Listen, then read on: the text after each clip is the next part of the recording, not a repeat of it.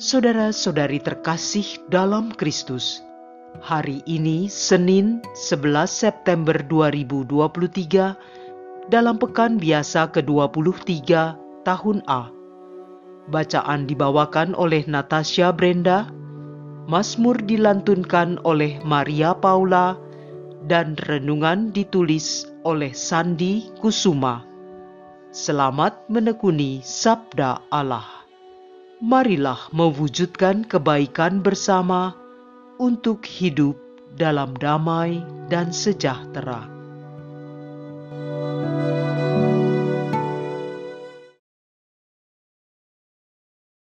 Dalam nama Bapa dan Putra dan Roh Kudus. Amin. Ya Allah Bapa kami, sering kali kami merasa bahwa kesusahan dan penderitaan yang kami alami adalah wujud Engkau tidak memperdulikan kami, membiarkan kami menghadapi sendiri segala persoalan hidup itu. Maka hari ini kembali kami ingin mendengar sabdamu agar iman yang kami bangun dapat bersandar pada otoritas Kristus serta dapat memahami bahwa penderitaan hidup kami adalah bagian dari sengsara Kristus. Amin. Bacaan dari Surat Rasul Paulus kepada Jemaat di Kolose, bab 1 ayat 24 sampai dengan bab 2 ayat 3. Saudara-saudara, sekarang aku bersuka cita bahwa aku boleh menderita demi kalian dan melengkapkan dalam dagingku apa yang kurang pada penderitaan Kristus untuk tubuhnya yaitu jemaat. Aku telah menjadi pelayan jemaat itu, sesuai dengan tugas yang dipercayakan Allah kepadaku, untuk meneruskan kepenuhan sabda Allah kepada kalian, yaitu rahasia yang tersembunyi berabad-abad dan turun-temurun, kini dinyatakan kepada orang-orangnya yang kudus. Allah berkenan memberitahu mereka betapa kaya dan mulianya rahasia itu di antara bangsa-bangsa lain, yakni Kristus ada di antara kalian. Dialah harapan akan kemuliaan. Dialah yang kami beritakan dengan memperingatkan setiap orang dan mengajar mereka dengan segala hikmat untuk memimpin setiap orang kepada kesempurnaan dalam Kristus.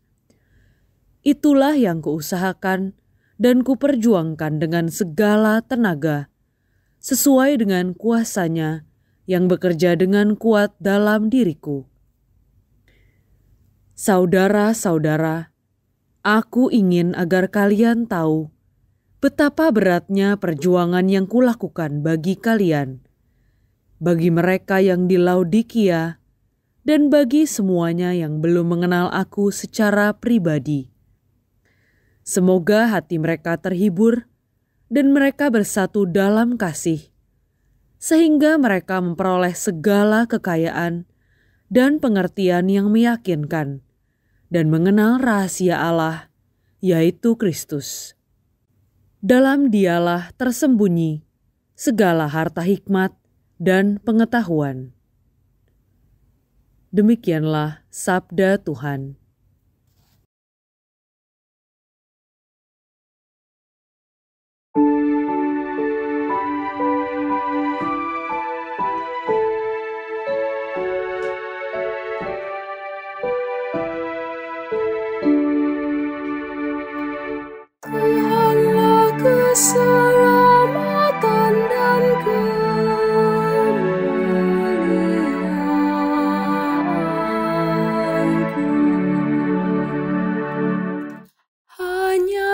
Katalah saja aku tenang, sebab daripadanya lah harapanku.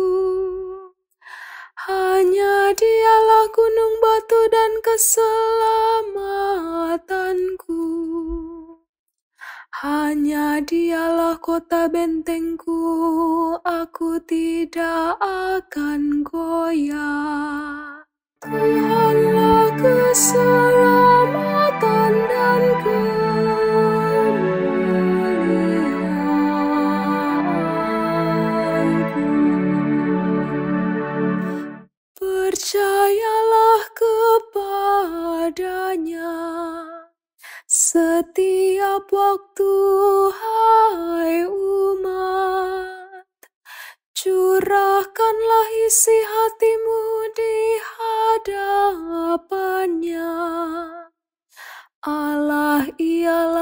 Tempat perlindungan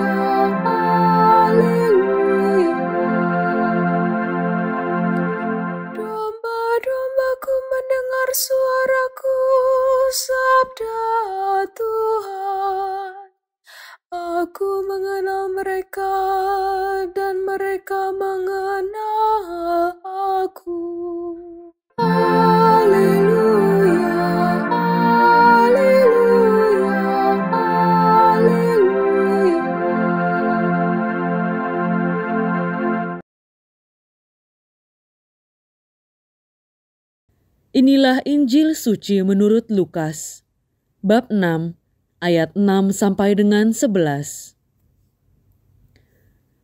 Pada suatu hari Sabat, Yesus masuk ke rumah ibadat lalu mengajar. Di situ ada seorang yang mati tangan kanannya. Ahli-ahli Taurat dan orang-orang Farisi mengamat-amati Yesus kalau-kalau ia menyembuhkan orang pada hari Sabat, agar mereka mendapat alasan untuk menyalahkan Dia. Tetapi Yesus mengetahui pikiran mereka. Ia berkata kepada orang yang mati tangan kanannya, "Bangunlah dan berdirilah di tengah." Maka bangunlah orang itu dan berdiri di tengah. Lalu Yesus berkata kepada mereka, "Aku bertanya kepada kalian, manakah yang diperbolehkan pada hari Sabat? Berbuat baik atau berbuat jahat? Menyelamatkan orang atau membinasakannya?"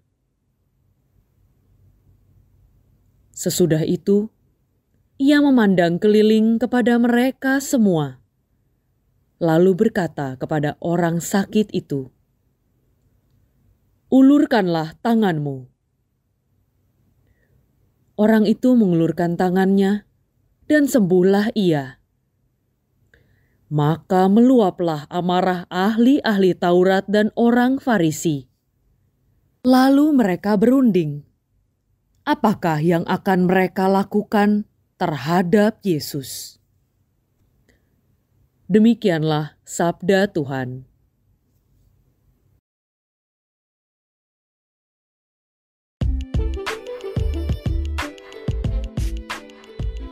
bersandar pada otoritas Kristus.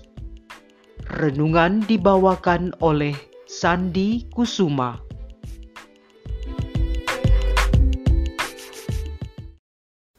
Adik-adik, Bapak, Ibu, dan saudara-saudara seiman dalam kasih Kristus. Tadi kita telah mendengarkan Santo Paulus menulis surat kepada jemaat di Kolose tentang penderitaan yang dialaminya oleh karena melayani umat, sebagaimana yang ditulisnya. Saudara-saudara, aku ingin agar kalian tahu betapa beratnya perjuangan yang kulakukan bagi kalian. Sekarang aku bersuka cita bahwa aku boleh menderita demi kalian. Barangkali sulit untuk bisa menerima bagaimana mungkin kita bersuka cita di saat kita berkesusahan. Apa iya di saat kita menderita sakit, kita bisa bersuka cita? Mungkin saja kita juga merasa aneh. Sebelumnya hidup Paulus dapat dikatakan lebih dari sekedar berkecukupan. Ia dipercaya untuk memburu dan memenjarakan para pengikut Kristus yang tentu saja upahnya besar. Tetapi Paulus malah memilih menderita demi jemaat yang dahulunya ia kejar-kejar itu. Ya, Yesus telah memanggilnya Kuasa atau otoritas Kristus telah membuat Paulus banting setir, berbalik arah dari Saulus menjadi Paulus. Lalu Paulus pun memberitakan Injil, terutama kepada bangsa-bangsa lain, mengajarkan segala hikmat dan pengetahuan yang disebutnya sebagai harta tersembunyi di dalam Kristus. Juga telah kita dengarkan dari bacaan pertama hari ini, Paulus menulis, Itulah yang kuusahakan dan kuperjuangkan dengan segala tenaga, sesuai dengan kuasanya yang bekerja dengan kuat dalam diriku. Paulus tidak lagi merasa dirinya sebagai orang hebat, tetapi sangat meyakini kalau kuasa Kristuslah yang bekerja dengan kuat di dalam dirinya. Kuasa Kristus atau otoritas Kristus telah sering kita dengarkan, tetapi bisa jadi saja masih minim dalam mengimaninya. Oleh karena itulah, saya mengajak kita semua untuk rekoleksi tentang otoritas Kristus itu, terutama tentang membangun iman kita berlandaskan pada otoritas Kristus itu. Adik-adik, Bapak, Ibu, dan saudara-saudara seiman dalam kasih Kristus, bacaan Injil hari ini nampaknya biasa-biasa saja. Tak heranlah kita mendengar Yesus menyembuhkan seseorang yang tangannya lumpuh. Yesus dapat melakukan yang jauh lebih hebat.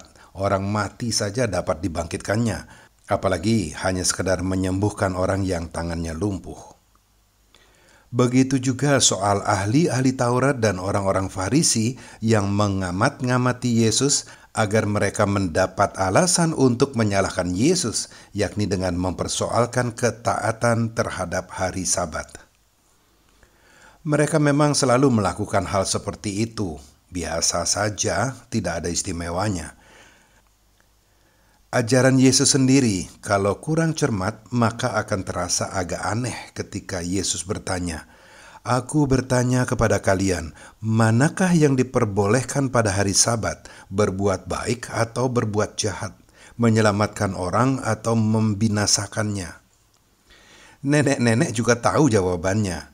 Tetapi jika konteksnya kita kaitkan dengan otoritas Kristus atas hari Sabat, maka menjadi fahamlah kita tentang boleh tidaknya mengerjakan sesuatu pada hari Sabat. Memang benar ditulis pada kitab Ulangan 5 ayat 12. Tetaplah ingat dan kuduskanlah hari Sabat seperti yang diperintahkan kepadamu oleh Tuhan Allahmu. Tetapi tidaklah dapat diartikan bahwa hari Sabat dapat menghalangi orang untuk berbuat kebaikan. Yesus telah mengatakannya bahwa hari Sabat diadakan untuk manusia, bukan manusia untuk hari Sabat. Dan yang lebih penting lagi, Anak Manusia adalah Tuhan atas hari Sabat. Kristus adalah Tuhan atas hari Sabat. Maka sangat tak pantas kalau Tuhan pun harus tunduk dan taat kepada aturan dan ketentuan hari Sabat yang dibuat oleh manusia yang dibuat oleh Allah adalah perintah untuk mengingat dan menguduskan hari Sabat, yakni setelah enam hari bekerja, maka patutlah menyediakan satu hari khusus untuk Tuhan. Gereja telah menetapkan hari Minggu adalah hari untuk Tuhan. Adik-adik, Bapak, Ibu, dan saudara-saudara seiman dalam kasih Kristus, kita tidak dapat menganggap diri sebagai orang beriman kalau kita masih sering lupa dengan otoritas Kristus, yakni kuasa Kristus atas segala hal. Atau kalau kita masih saja meragukan otoritasnya itu dapat menolong kita. Marilah kita lihat beberapa bentuk otoritas Kristus dalam kaitannya dengan kesempurnaan iman kita. Yang pertama, otoritas Kristus atas dosa dan pengampunan. Kita mengupayakan pertobatan oleh karena kuasa Kristus atas dosa yang kita perbuat dan memperoleh pengampunan dari otoritas Kristus itu. Kristus juga pemegang otoritas atas kehidupan dan kematian. Yesus dapat menghidupkan kembali orang yang telah meninggal dunia, dan Yesus sendiri bangkit dari kematian. Otoritas atas kekuatan jahat juga merupakan otoritas Kristus. Itu ditunjukkan oleh Yesus ketika mengusir roh jahat dari orang yang kerasukan setan. Yesus menunjukkan otoritasnya melalui berbagai mujizat penyembuhan orang sakit, penderita lumpuh, tuli, buta, dan berbagai penyakit lainnya.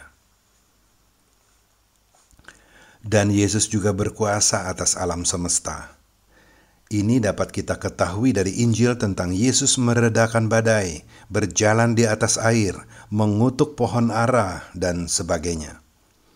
Dan yang tak kalah pentingnya, otoritas Kristus atas sabda dan relasi dengan Allah Bapa. Ajaran Yesus adalah sabda Allah yang original, yang kita percayai sebagai kebenaran Allah. Itu sebabnya setiap kali Injil dibacakan, maka diakhiri dengan demikianlah sabda Tuhan. Oleh karena otoritasnya pula, kita dipertemukan dengan Allah Bapa dalam relasi rohani, di mana kita boleh memanggilnya dengan sebutan Bapa karena kita diakui sebagai anak-anaknya. Perantaraan Kristus adalah jalan tol menuju kepada Bapa. Nah, boleh dibilang kalau Kristus adalah otoritas dalam segala hal, maka tak salah kalau kita daraskan Yesuslah andalanku. Maka marilah kita bersandar pada otoritas Kristus agar sesuatu yang mustahil dapat terjadi dalam hidup kita. Marilah kita berdoa untuk menutup renungan hari ini. Ya Allah Bapa, adalah anugerah terbesar bagi kami yang lemah ini. Kami boleh mengandalkan otoritas Kristus untuk mengatasi berbagai persoalan hidup kami, hanya dengan bermodalkan iman, kasih, dan harapan. Jagailah agar kami dapat memanfaatkan harta ilahi ini dengan sebaik-baiknya dan demi kemuliaan namamu, ya Tuhan Allah kami. Kami berdoa kepadamu dengan perantaraan Yesus Kristus, Tuhan dan Penyelamat kami. Amin. Dalam nama Bapa dan Putra dan Roh Kudus. Amin.